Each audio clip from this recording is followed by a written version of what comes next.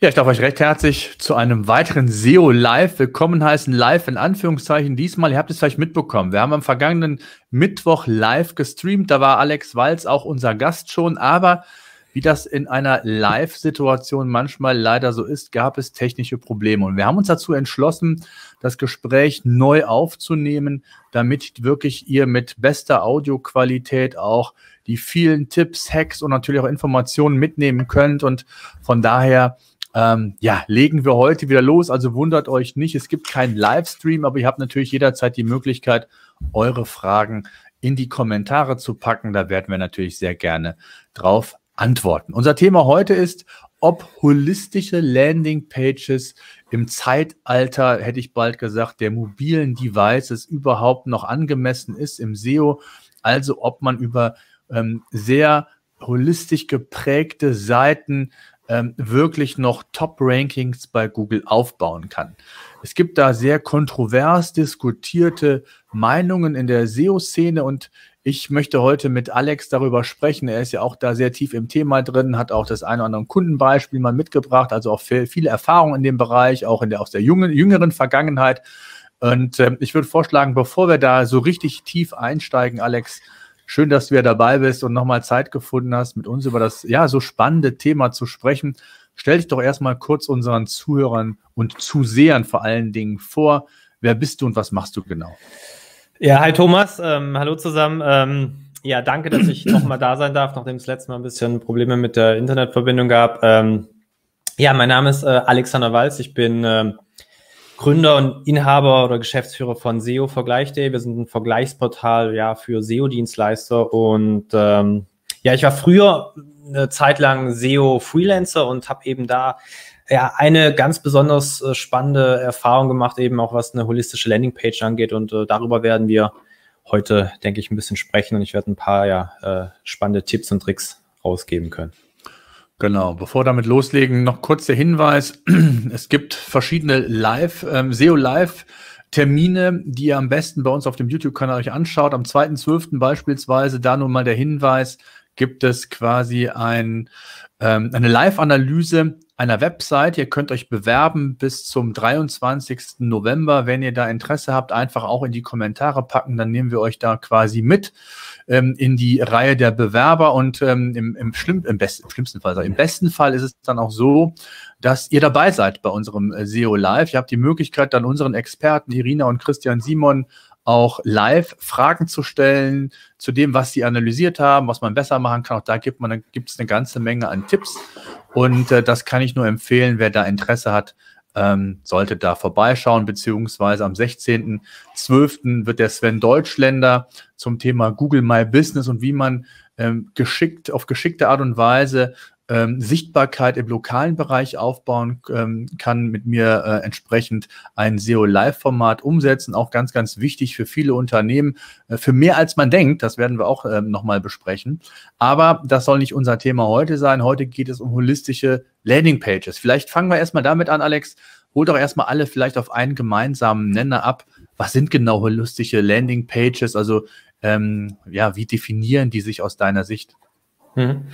Ja, also eine holistische Landingpage äh, aus meiner Sicht äh, ist im Prinzip eine Seite, eine einzelne Landingpage, die ein spezielles Thema sehr ganzheitlich abarbeitet. Also wo man wirklich um dieses Thema herum sämtliche relevante Informationen findet, sodass der Nutzer auf gar keine andere Seite weiterklicken kann. Das ist für mich eine holistische Landingpage und da wird eben oft dann differenziert zwischen eben so einer holistischen Landingpage und als Alternative eben ähm, beispielsweise eine allgemeinere Seite, wo dann aber sehr häufig dann weiter runter verlinkt wird. Also das ist auch ähm, im Prinzip ein Thema in kleinere Stücke aufgeteilt äh, wird. Und das ist eben so der Gegensatz zu der holistischen Landingpage, über die wir heute sprechen werden.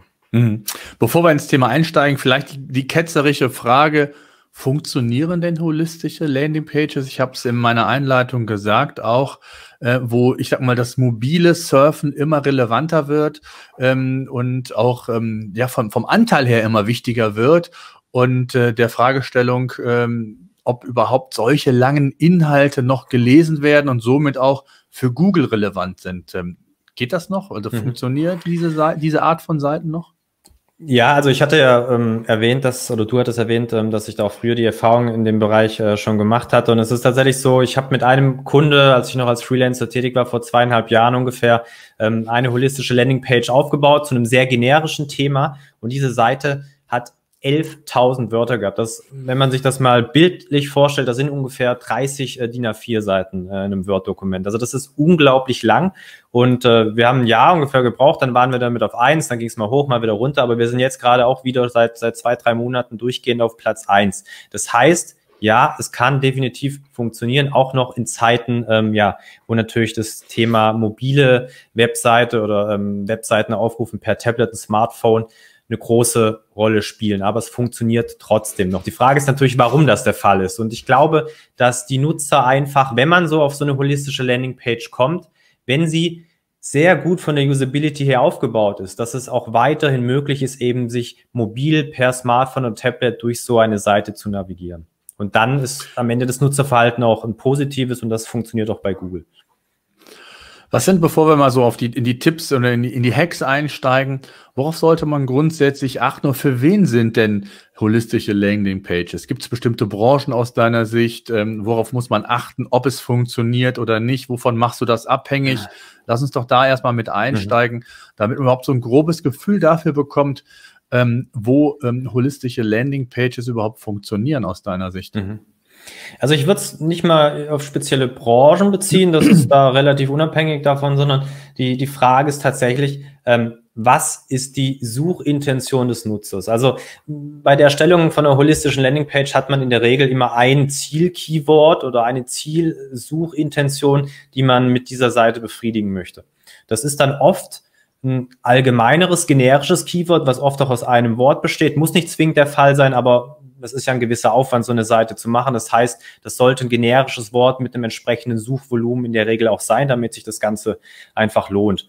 Und wichtig ist eben, dass die Suchintention hauptsächlich informativer Natur ist. Das heißt, der Nutzer, der einen Suchbegriff eingibt, ich nehme jetzt gerade mal das Beispiel ähm, Lebensversicherung, der, der hat verschiedene Fragen zu diesem Thema, aber jetzt in der Regel äh, gibt es nicht eine konkrete Fragestellung, wenn man dieses, dieses Suchanfrage bei Google eintippt. Also nicht jeder Nutzer hat hier dieselbe Fragestellung, sondern es gibt viele verschiedene. Das heißt, man muss dazu einfach eine Ratgeberseite, eine Infoseite zum Beispiel bauen, die sehr umfassend ist und eben die Fragen aller Nutzer idealerweise beantwortet. Das ist so eben die typische Seite, die sich oder die typische Suchintention, die sich bei einer holistischen Landingpage lohnt. Was wiederum weniger funktioniert, sind eben E-Commerce-Seiten. Also wenn man jetzt speziell iPhone kaufen als Beispiel oder ein konkreter, konkreter Produktname, da sind holistische Landingpages in der Regel nicht zielführend, weil der Nutzer eher ein Online-Shop oder ähnliches in der Form erwartet. Hm. Das ist äh, auch ganz wichtig, der Punkt. Wir haben da auch schon mal ein SEO Live drüber gemacht. Ich habe da auch schon mal was drüber ge gesagt in einem Vortrag gerade dieses Thema Suchintention, das würde ich gerne noch mal kurz aufgreifen, auch für die, für die neuen Zuhörer oder Zuseher, ähm, die sich vielleicht mit dem Thema noch gar nicht so auskennen. Die meisten wissen hoffentlich mittlerweile, dass so die Keyword-Recherche eigentlich so der erste Schritt ist. Und dann ist aber der große Fehler, den, den viele immer noch machen, dass sie auf Basis der Keyword-Recherche dann versuchen, eine Content-Strategie zu entwickeln. Und das ist, genau wie du gesagt hast, nicht immer gut, ähm, weil der Suchintent unter Umständen ein anderer sein kann. Der kann sich auch im Laufe der Zeit, kann der sich verändern oder Google kann sehr viel testen, diversifiziert da entsprechend. Ähm, und es ist einfach wichtig nochmal, ich sage immer so, die, die Keywords nochmal zu überprüfen, ob die Absicht, die der Nutzer hat, und die Google entsprechend ähm, dahinter vermutet, ob die mit dem, was ich als Content-Ziel habe, übereinstimmt. Das ist, glaube ich, erstmal so das Wichtigste, damit überhaupt die Voraussetzungen geschaffen ist, was du auch gesagt hast. Ne? Mhm. Genau, also der erste Schritt, Keyword-Recherche, im zweiten Schritt schauen, die Keywords, die ich ausgewählt habe, was für ein Content muss ich dazu erstellen? Kann ich wirklich informativen Content bauen, also zum Beispiel eine holistische Landingpage, oder muss ich hier eher ein Produkt vorstellen oder ähm, einen Online-Shop, äh, eine Online-Shop-Seite bereitstellen?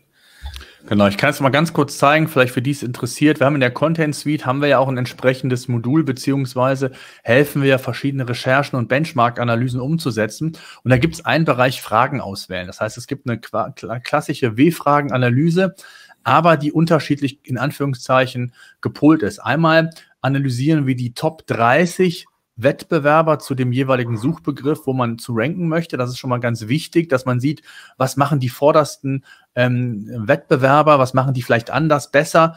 Ähm, man kann sich inspirieren lassen. Wir haben Google Suggest drin und kann die dann direkt mit ins Content Briefing übernehmen. Das heißt, es ist hier ganz wichtig, auch das, was du gesagt hast, in der W-Fragen-Analyse überhaupt mal das Potenzial zu sehen, wie breit muss ich meinen Content theoretisch aufbauen, dann zu schauen, wie ähm, ist das Suchvolumen zu den jeweiligen Keywords oder Themen viel mehr? Macht es Sinn, äh, da entsprechend Fragen aufzugreifen? Ähm, das sind alles so Themen, da sollte man sich am Anfang mit beschäftigen, um auch wirklich einen groben Überblick zu haben und wirklich perfekt auch von der, von der, von der ähm, Seite aus einen, einen sehr umfangreichen ähm, Artikel zu, sch zu schreiben. Du hast eben selbst gesagt, in, in deinem Beispiel oder Case, den du eben genannt hast, waren es dann schlussendlich 11.000 Wörter. Ähm, das muss jetzt nicht immer so sein. Äh, in, in, der Ausführlichkeit, in der Länge, das hängt auch von verschiedenen Parametern ab, aber das kommt zu meiner nächsten Frage. Ähm, Gibt es da irgendeine Schallmauer, Schallgrenze aus deiner Sicht, aus deiner Erfahrung, wie holistisch geprägt, in Anführungszeichen, eine Seite aufgebaut äh, sein sollte? Ähm, das ist eine gute Frage. Ich glaube, es gibt da so zwei Faktoren, die die, die Ganzheitlichkeit so einer Seite einschränken. Das, das ist ähm, als Hauptgrund eigentlich die Usability überhaupt, also dass man auf der Seite auch wirklich die Informationen findet, die der Nutzer sucht. Weil wie gesagt, wenn wir den Begriff Lebensversicherung zum Beispiel nehmen, da stecken, je nachdem welcher Nutzer danach sucht, äh, hat der Nutzer eine ganz andere Fragestellung. Das heißt, ähm, es gibt 100 Nutzer mit vielleicht 80 verschiedenen Fragestellungen und die müssen auf der Seite dann beantwortet werden. Und der Nutzer oder muss dann im Prinzip relativ einfach, auch mobil, wie du vorhin erwähnt hast, eben die Informationen finden, die er sucht. Und deswegen ist das Thema Usability der der wichtigste Faktor überhaupt bei einer holistischen Landingpage, der eben dann aber auch einschränkend irgendwann wirken kann. Weil wenn die Seite nicht mehr 11.000, sondern 20.000, 30.000 Wörter lang ist, dann ist natürlich irgendwann die Frage, kannst du das durch selbst durch die optimale, perfekte Usability-Umsetzung überhaupt noch hinbekommen, dass der Nutzer die Frage, ähm, die Antwort auf seine Frage findet. Und da bin ich dann natürlich auch am Zweifeln. Deswegen würde ich grundsätzlich sagen, also die 11.000 Wörter, das ist schon relativ grenzwertig. Wir haben natürlich ein paar tolle Sachen eingebaut, wo man das von der Usability ja schon gut umgesetzt hat. Aber wenn es noch deutlich länger wird, dann stelle ich das schon ein wenig in Frage, ob das ja überhaupt machbar ist. Und hm. der, zwe der zweite ja. Punkt vielleicht noch ganz kurz Mhm. Ähm, der so ein bisschen einschränken wird, ist tatsächlich, ähm, ja, sind äh, Meta-Title und Meta-Description, hauptsächlich äh, Meta-Title. Weil wenn ich natürlich ein Thema allzu umfassend darstelle, ähm, dann habe ich zwar auf der Seite selbst alle Antworten zum Thema, aber ich habe natürlich nur ein einzigen Website-Title, den ich, äh, den ich festlegen kann und den man bei Google dann findet. Das heißt, äh, ich kann dann irgendwann nicht mehr die, die mit dem Website-Title vernünftig die Antwort oder die, ja, dem Nutzer die Info geben, was er auf der Zielseite tatsächlich findet. Das heißt, hier ist man natürlich dann auch schon irgendwann eingeschränkt und sollte dann thematisch natürlich dann schon wirklich auch bei dem Thema bleiben und nicht zu weit darüber hinausgehen, weil man das dann eben im, im Website-Snippet auf der, auf der Google-Suchergebnisseite einfach nicht mehr abbilden kann mit dem Title und mit der Description. Hm. Jetzt ist es ja so, dass man im Grunde genommen, also man darf natürlich nicht den Fehler machen, das vielleicht nochmal kurz eingeworfen, den meisten wird das bekannt sein, wenn man jetzt eine Seite oder ein Thema sich ausgesucht hat, man ist aber vielleicht noch gar nicht Experte in dem Thema. Das heißt, man hat in, auf seiner Webseite vielleicht ganz andere Themen bisher bearbeitet und entscheidet sich dann ein, ein neues Thema zu erschließen oder einen neuen Bereich. Dann muss man natürlich, darf man nicht den Fehler machen zu glauben, man hat eine holistische Landingpage äh, und dann rankt man irgendwo dazu, sondern dann geht es auch darum, dann wirklich Content in der Form zu produzieren, der das ganze Thema auch nochmal ergänzt, um wirklich auch Google quasi so eine Art ja, Expertise auch aufzuzeigen, was ja auch sehr, sehr wichtig ist, dass man auch für, ähm, berechtigt ist, in Anführungszeichen, äh, für, diesen, für dieses Thema dann auch gerankt zu werden. Das machen auch sehr, sehr viele immer mhm. falsch. Ähm, wo es mir nochmal drauf geht, ich möchte nochmal so ein bisschen auf die, auf die Länge raus. Ähm, du hast es eben gesagt, Usability. Da gehört natürlich auch das Thema Formatierung ähm, explizit dazu. Was sind so da deine Kernthemen, die du da immer berücksichtigst, was so Formatierung eines Textes und so weiter angeht? Was sind da so die typischen Dinge, worauf du achtest? Ähm, also Formatierung eines Textes ist tatsächlich ein sehr, sehr wichtiger Punkt bei der holistischen Landingpage, weil die Seiten sehr lang sind. Das heißt, ähm, der Nutzer muss möglichst schnell zu den einzelnen Abschnitten springen können, die er vermeintlich mit seiner Suchanfrage ähm, ja sucht, ähm, wo er dort seine Antwort äh, sich erhofft. Das heißt, man sollte da dann, wenn man mit natürlich mit Zwischenüberschriften arbeitet, das ist sollte selbstverständlich sein bei so einem langen Text, sollte man idealerweise nicht nur die klassische H1, H2, H3 Überschrift verwenden, die so zum Beispiel WordPress zur Verfügung stellt, sondern man sollte hier wirklich spezielle Formatierungen anwenden, die ähm, Hauptkategorien nochmal auch farblich zum Beispiel deutlich differenziert zu irgendwelchen Unterkategorien. Also dass der Nutzer wirklich erkennt, okay, wir haben hier acht Hauptkategorien auf dieser Seite und innerhalb jeder Hauptkategorie gibt es zum Beispiel nochmal sechs Unterkategorien. Und das sollte einfach farblich Hintergrundfarben, irgendwelche Icons können verwendet werden. Das ist eigentlich gar nicht so entscheidend. Am Ende ist einfach diese Differenzierung wichtig, dass der Nutzer sofort erkennt, in welchem Bereich man sich bewegt. Also ich denke, das ist ein wichtiger Punkt, dass die Abschnitte innerhalb der Webseite gut differenziert werden. Und dann haben wir natürlich das Thema äh, Fettmarkierungen nicht übertreiben, auch ganz wichtig. Manche Webseiten haben dann in jedem zweiten Satz eine Fettmarkierung, das hilft dann auch keinem mehr. Aber dass man in, ich sag mal so, in jedem Absatz zum Beispiel eine Fettmarkierung drin hat, ein Absatz sind dann drei, vier äh, äh, Sätze zum Beispiel, da ist es dann gut möglich, dass man dem Nutzer direkt zeigt, in diesem Absatz geht es um diesen, um dieses bestimmte Thema. Ich glaube, das ist, was die Formatierung betrifft, äh, sind so die beiden wichtigsten Punkte eigentlich. Mhm. Ich glaube, ergänzend kann man noch sagen, das hast du gesagt, dass es ja, übersichtlich ist. Das ist das Thema auch Usability. Ich muss den, Lesefluss darf ich nicht unterbrechen, das ist ganz wichtig. Ähm, hier ist so das, das Thema Table of Contents, das heißt, ähm, Inhaltsverzeichnis noch zu nutzen, ähm, was dann so ein Navigator quasi auch für den Nutzer ist. Und, und das ähm, darf man auch nicht vernachlässigen, auch das ist ein Thema, ich zeige es nur mal ganz kurz. Ähm, das hat natürlich auch Vorteile, ähm, für das Snippet. Ne? Wenn ich die, die H-Überschriften quasi mit einem Anker versehen habe, ich, ihr seht das hier vielleicht in diesem Beispiel, da ist eine Seite, die hat hier unten noch diese Sitelinks. Ne? Vorteile, papierloses Büro, Cloud-System als Tipps damit. Wenn ich da jetzt drauf klicke, dann werde ich genau an die Stelle dieser Webseite geleitet und muss hier nicht irgendwie mich noch durchnavigieren, weil es eine extrem lange Webseite ist, sondern ich habe die Möglichkeit, dann diese Ankerpunkte quasi Google zu übergeben und die werden in Snippet implementiert. Das heißt, ich habe mhm. hier nochmal die Möglichkeit, auch mich nochmal zu differenzieren vom Wettbewerb, was ja auch ganz wichtig ist. Ne? Ja, definitiv. Also wenn du willst, kann ich dir auch mal kurz ein Beispiel zeigen, wie wir die Table of Content und diese Navigation Gerne. Äh, gelöst haben. Ähm, wir versuchen das mal hier mit dem Bildschirm teilen. Genau. Kann man das gut erkennen? Das sieht man ja. Hm? Also das ist jetzt genau das, was du beschrieben hattest. Hier hast du im Prinzip ein Inhaltsverzeichnis mit den Hauptpunkten. Das sind jetzt hier zum Beispiel die Hauptkategorien zum Thema Lebensversicherung. Wenn ich jetzt hier draufklicke, die Basics zur Lebensversicherung, dann springt der Browser automatisch dorthin. Das heißt, interne Verlinkung über eine Sprungmarke. Und das wäre jetzt, wären das hier zum Beispiel nochmal Unterpunkte, also Unterkategorien oder Unterfragestellungen, die eben inhaltlich abgearbeitet werden. Und hier arbeitet man auch dann wieder mit, mit Sprungmarken, dass der Nutzer tatsächlich innerhalb dieser großen holistischen Landingpage ähm, ja ganz simpel navigieren kann.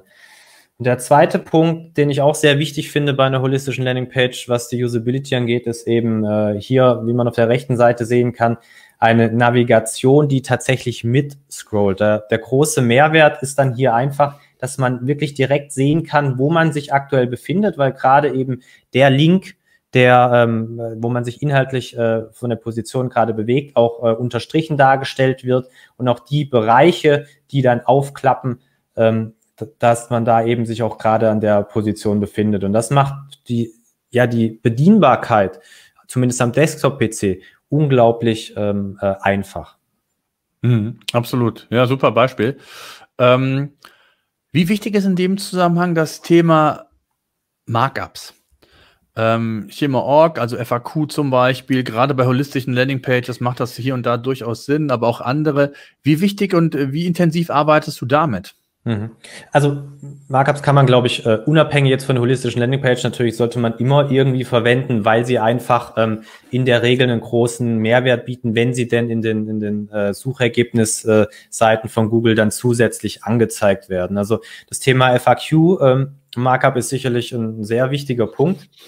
Ähm, für diejenigen, die das vielleicht noch nicht kennen, also man hat die Möglichkeit einfach auf einer Webseite, ähm, ja, dieses, dieses klassische, klassische FAQ, was man, was man kennt, auch von Supportseiten zum Beispiel, kann man auf einer Webseite darstellen, Frage, Antwort, Frage, Antwort. Und wenn das ähm, entsprechend ähm, gekennzeichnet wird im Quelltext, dann kann Google diese ähm, FAQ-Snippets äh, äh, ähm, in den Suchergebnisseiten anzeigen. Und das erhöht natürlich die, die Fläche, in den Suchergebnisseiten vom eigenen Snippet. Ich weiß nicht, vielleicht kannst du da mal ein Beispiel zeigen. Ähm, Ach so, ja, Sekunde. Warte mal, hast du bei dir eins drauf, ein, ein Beispiel? Ähm, du könntest mal zum Beispiel nach äh, SEO-Agentur Berlin suchen, da müsste was angezeigt werden. Und du hast, das ist dein Bildschirm, kannst du gerade schauen. Ach so, ja. Ich anzeige.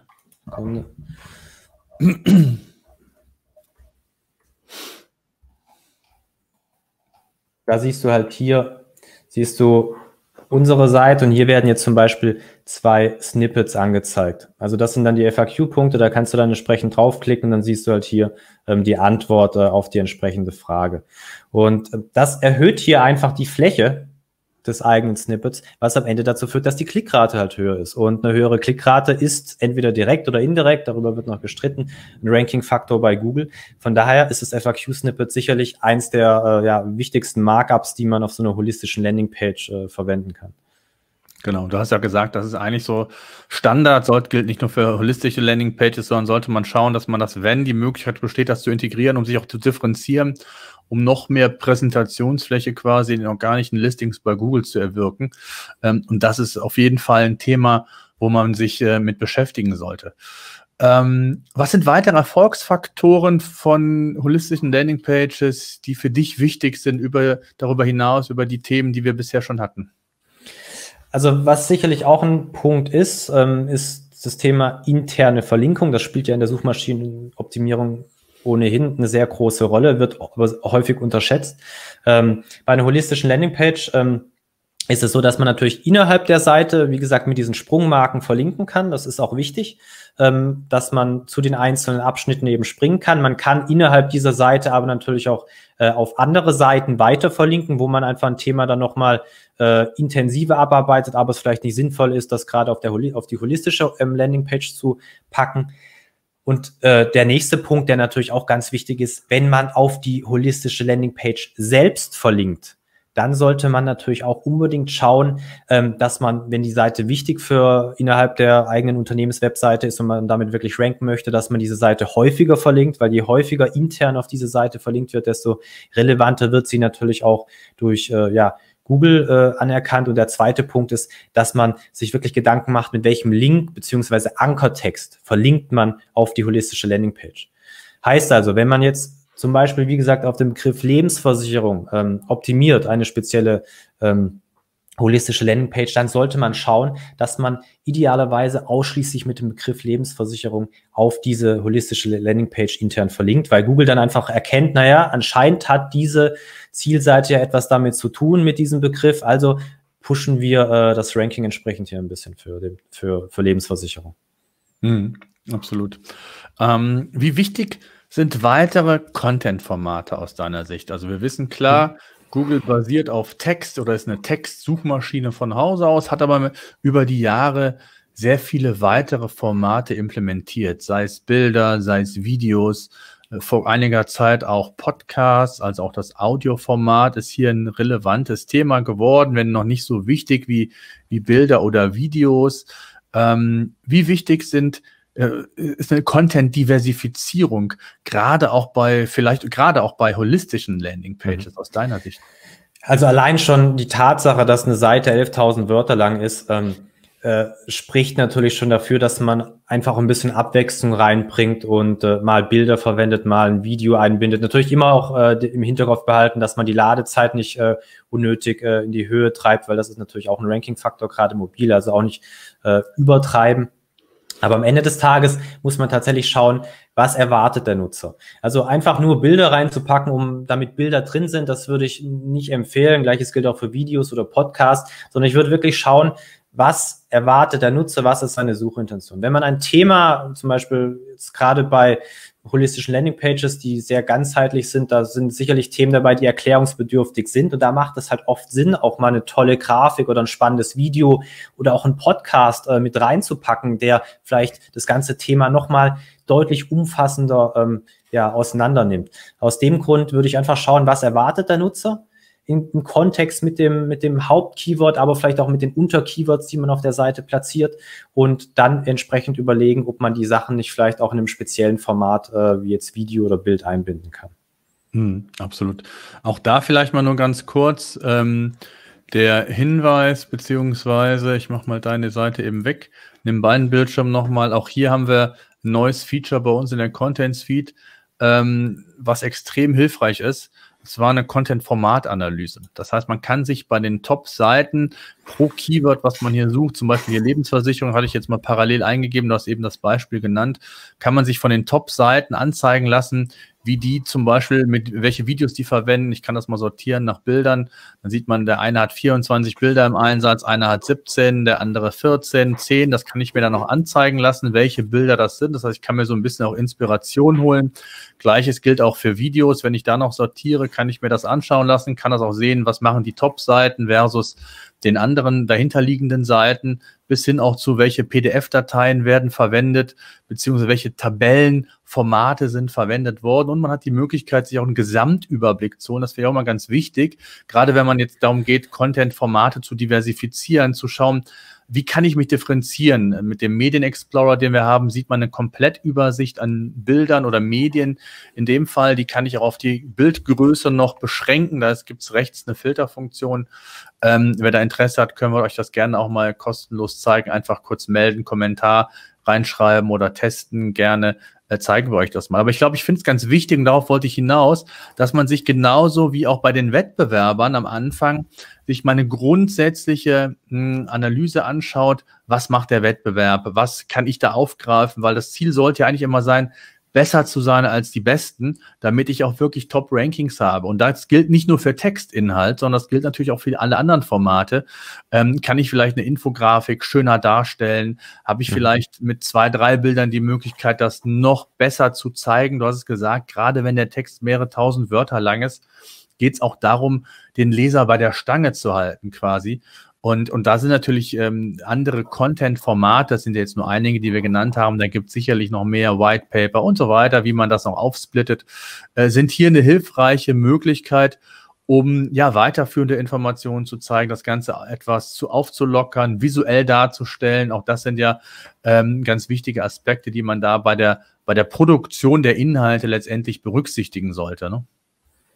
Ja, also äh, bin ich voll bei dir. Ich bin da, muss ich ehrlicherweise gestehen, immer noch so äh, alte Schule und äh, guck mir die Wettbewerbe dann manuell an, was ich auch grundsätzlich immer empfehlen würde. Aber wenn man dann so ein Tool natürlich wie ähm, von, von PageRangers oder die Content Suite hat, dann ist es natürlich vieles, was du automatisieren kannst. Und du kannst, gerade wenn du solche Landingpages in, in Masse produzierst oder zumindest in einem größeren Umfang oder als Agentur, dann ähm, kannst du, glaube ich, den Prozess einfach nochmal so ein bisschen beschleunigen. Ich glaube, äh, das ist einfach so der Mehrwert, den man hat. Ja, und von daher empfehle ich auch mit Tools, äh, soweit es geht, auch äh, zu arbeiten. Die, weil die werden einfach von Mal zu Mal besser äh, mit jedem Jahr. Und ähm, ich glaube, es wird auch nicht mehr lange dauern, dass man da dann äh, wahrscheinlich bessere Ergebnisse erhält. Zumindest, also in manchen Bereichen ist es ja definitiv schon so, aber als wenn man es manuell äh, händisch äh, machen würde.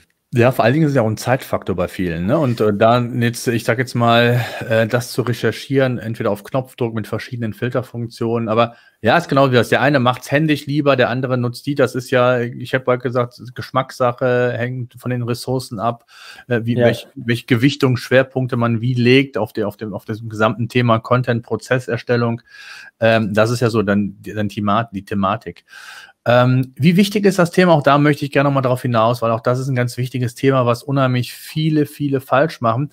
Ähm, der Inhalt ist gebaut, ist konzipiert, entwickelt, umgesetzt und jetzt gilt es so, das Ganze mal einwirken zu lassen, Google die Möglichkeit zu geben, die Seite zu indexieren, zu verstehen, wie die internen Verlinkungen aufgebaut sind. Also das Ganze in den Index zu nehmen. Und jetzt kann es ja durchaus drei, sechs, zwölf Monate dauern, je nachdem, in welcher Branche ich mich befinde, wie so die Rahmenparameter aussehen, bis ich erstmal überhaupt ähm, eine Entwicklung sehen kann. Das geht manchmal schneller, hängt von verschiedenen Aspekten ab, vom Thema, Branche, Wettbewerbsdichte und, und, und. Ähm, das wissen wir. Ähm, aber wie wichtig ist auch das Thema, und da möchte ich darauf hinaus, aktiv am Inhalt weiterzuarbeiten. Mhm. Ähm, was hast du da für Erfahrungen gemacht oder was hast du da für Tipps, wie man da vorgehen sollte?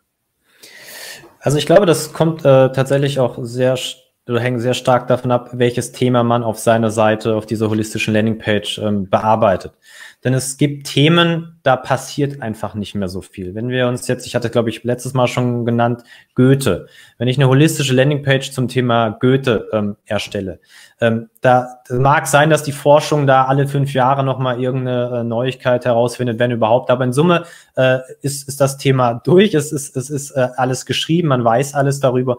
Das heißt, wenn man hier eine tolle Seite erstellt hat, muss man da theoretisch nicht mehr viel machen. Es kann natürlich sein, dass sich das Internet weiterentwickelt, dass irgendwelche Medien wie jetzt Podcast immer beliebter werden und dass Google hier auch die Relevanz dann einfach ein bisschen höher setzt. Das heißt, da kann man dann schon mal ähm, ja etwas ergänzen, aber in Summe bei so einem Thema würde ich das ganz entspannt sehen.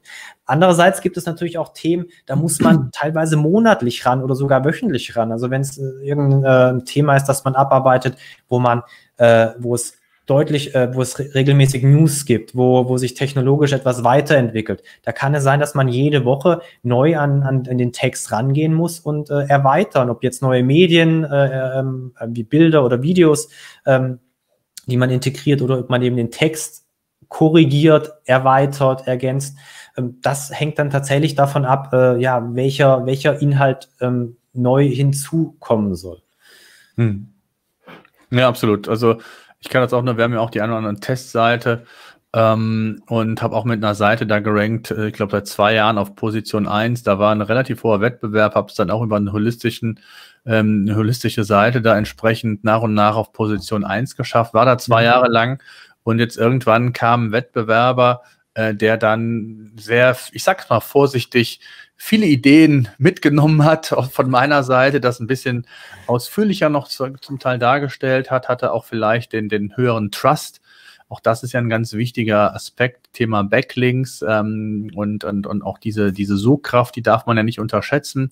Ist jetzt auf Position 1, hat mich abgelöst. Jetzt habe ich den Text nochmal aktualisiert, bin teilweise auf Position 3, 4, weil ich da ein längeres Zeitraum nichts mehr zu gemacht habe. Die Wettbewerbe aber aktiv waren scheinbar und ich dann mhm ähm, gar nicht mehr so von Google entsprechend eingestuft wurde, wie ich das zwei Jahre zuvor noch äh, oder die letzten mhm. zwei Jahre zuvor gemacht wurde. Und ähm, das ist, glaube ich, so ein ganz wichtiger Hinweis, nur, dass man hier wirklich immer wieder darauf achten sollte und die Texterstellung nie als einmalige Aktion sehen sollte, sondern nachher geht es dann auch darum, so ein bisschen nach dem Pareto-Prinzip zu schauen, was sind meine Traffic-Lieferanten und meine Traffic, Traffic-stärksten Seiten und macht es Sinn, die einfach zu ergänzen, zu aktualisieren, ähm, vielleicht auch darüber hinaus weitere ähm, Artikel nochmal zu konzipieren, die das ganze Thema stärken. Auch das darf man nie aus den Augen verlieren und ist ein ganz wichtiger Aspekt. Ne? Ja, ja, bin ich, bin ich voll bei dir. Also ähm, sollte man auf jeden Fall äh, immer im Blick behalten. Gerade wenn der Wettbewerb natürlich Seiten hat, die dauernd aktualisiert werden und man selbst äh, nichts macht, das natürlich für Google schon ein Zeichen, hier äh, scheint äh, nicht mehr der ganz aktuelle Content vorhanden zu sein. Mhm, absolut.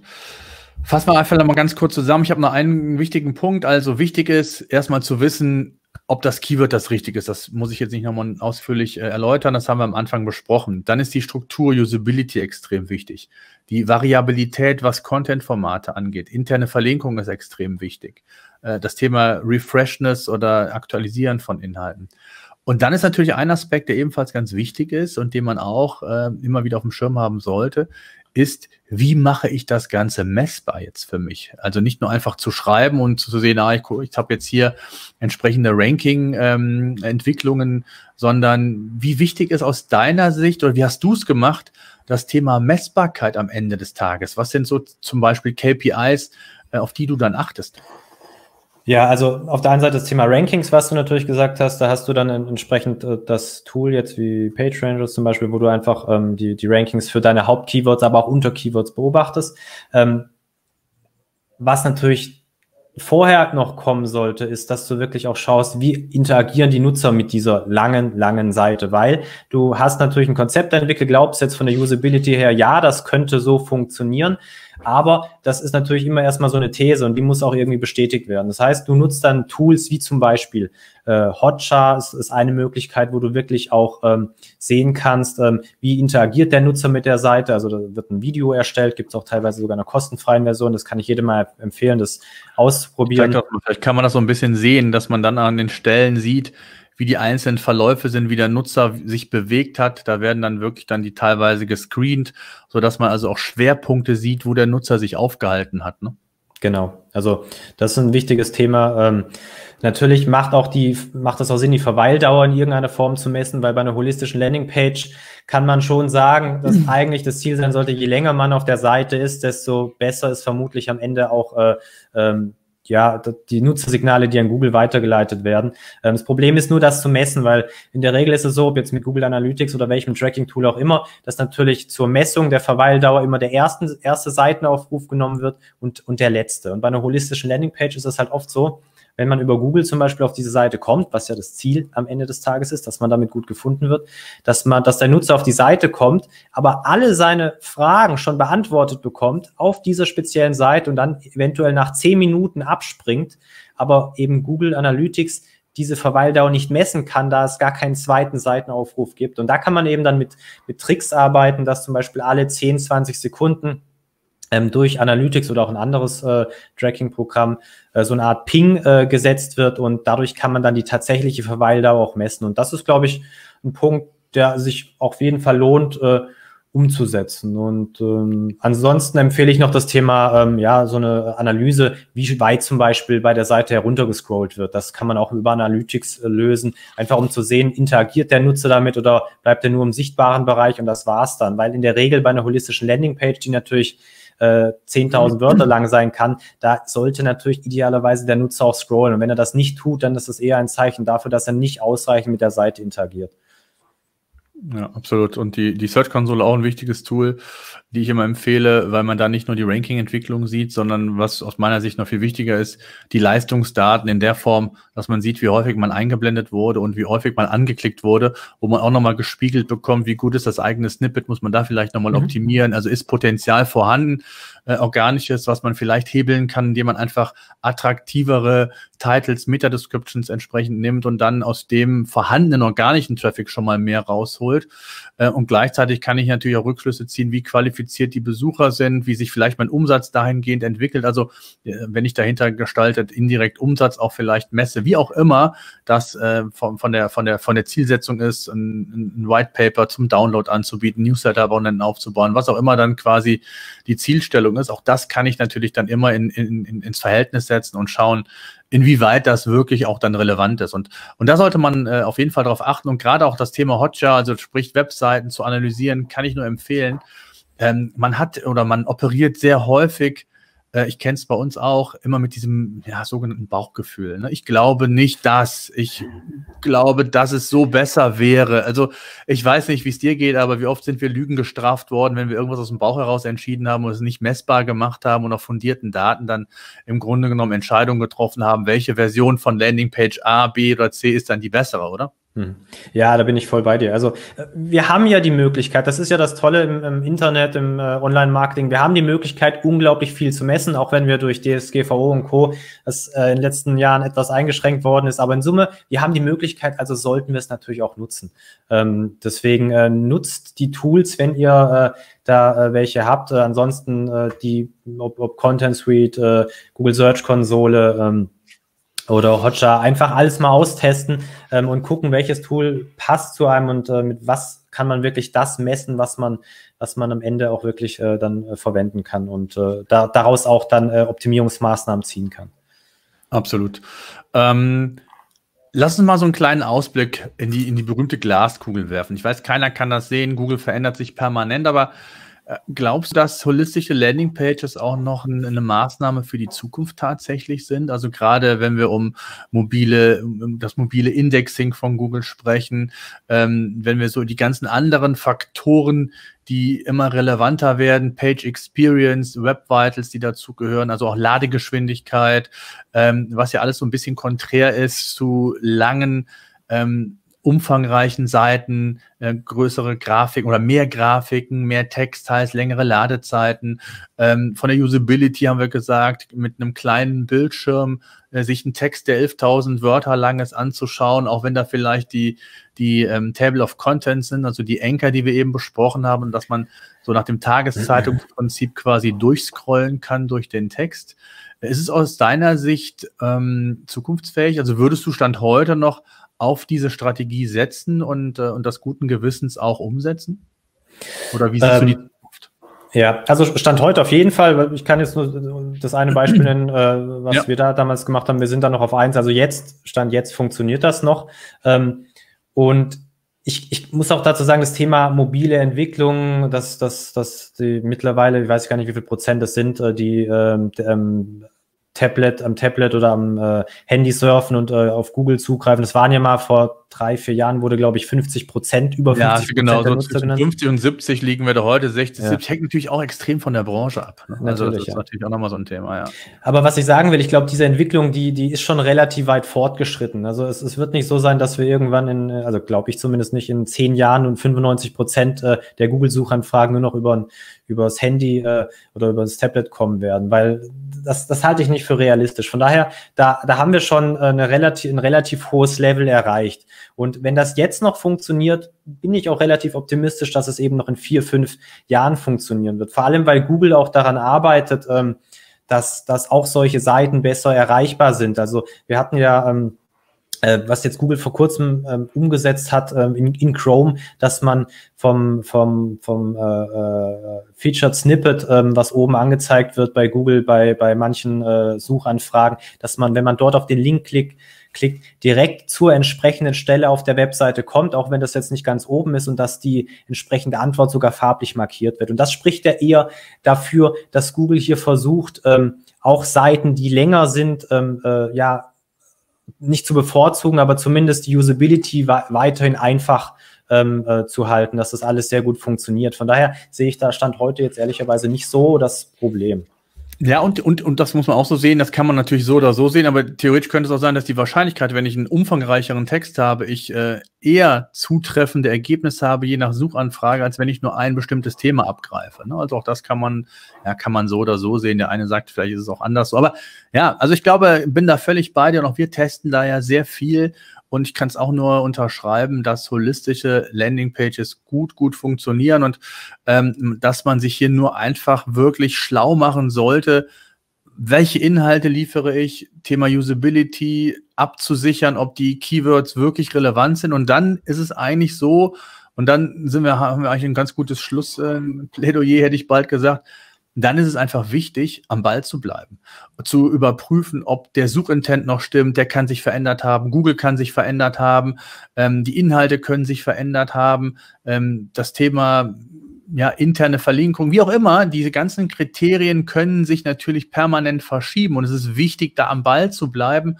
und eben SEO als Prozess zu sehen und auch das kriegen wir immer wieder mal ähm, auch bei uns im Tool, ja, wir wollen das Tool jetzt mal einen Monat einsetzen, wollen alles mal optimieren und dann, äh, dann müsste ja eigentlich alles wunderbar sein. Also das funktioniert halt nicht. Ne? Ich glaube, das, das ist nochmal wichtig, dass man jedem den Zahn ziehen muss, dass SEO ähm, langfristig ist. Ich sage immer, SEO ist kein Sprint, sondern ein Marathon. Wer einen Sprint will, der muss Google äh, Ads nehmen, die Paid-Variante.